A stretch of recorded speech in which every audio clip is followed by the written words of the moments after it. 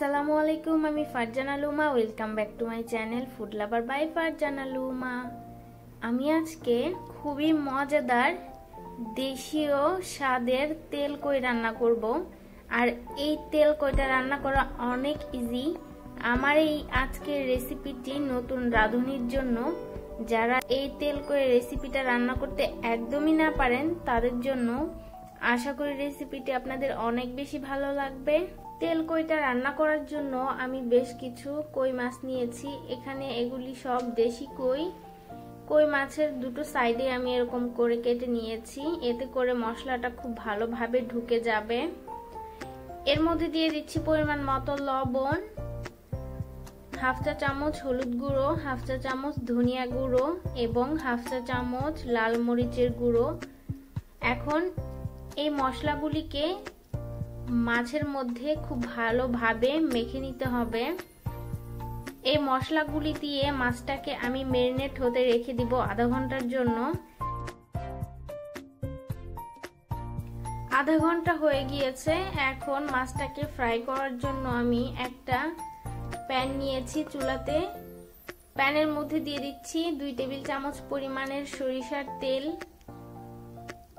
এই তেল কইটা রান্না করতে কিন্তু সরিষার তেলই ব্যবহার করতে হবে। তাহলেই এই তেল কইয়ের আসল স্বাদটা পাওয়া যাবে। তেলের মধ্যে সবগুলি মাছ খুব ভালোভাবে দিয়ে দেওয়া হয়ে গেলে এটাকে উল্টে পাল্টে ভেজে নিতে হবে প্রায় তিন থেকে চার মিনিটের মতো। এর চাইতে বেশি সময় ধরে ভাজা যাবে না। তাহলে এই তেল কইটা খেতে একদমই ভালো লাগবে না।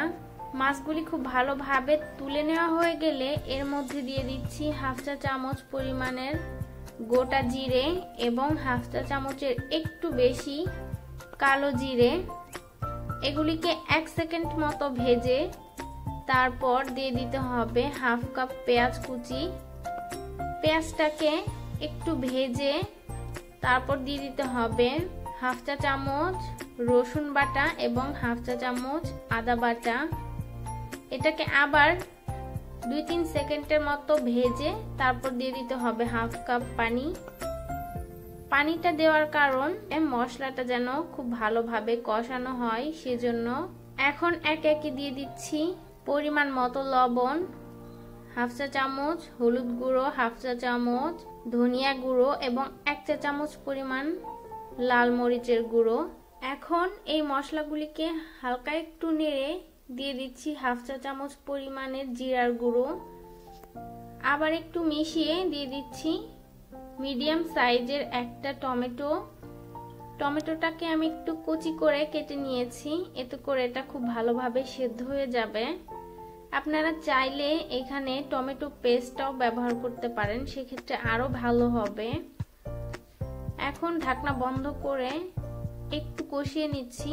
টমেটোটাকে দুই তিন মিনিটের মতো খুব ভালোভাবে ঢাকনা বন্ধ করে কষিয়ে নিতে হবে।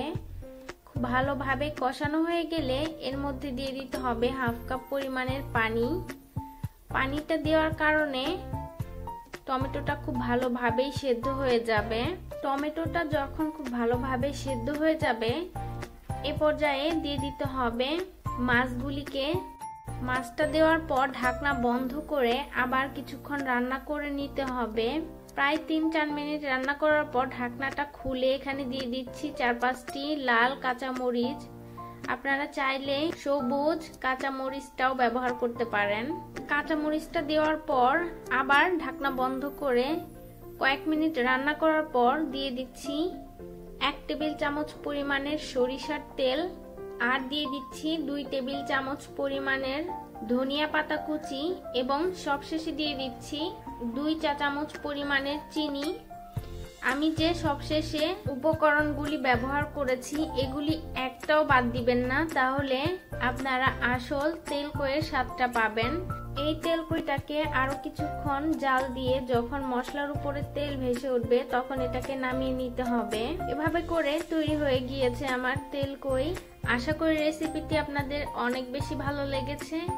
ভালো লাগলে অবশ্যই একটা লাইক করবেন আর সব বন্ধুদের সাথে শেয়ার করবেন। সাবস্ক্রাইব করতে কিন্তু মোটেও ভুলবেন না। সবাই অনেক বেশি ভালো থাকবেন। আল্লাহ হাফেজ।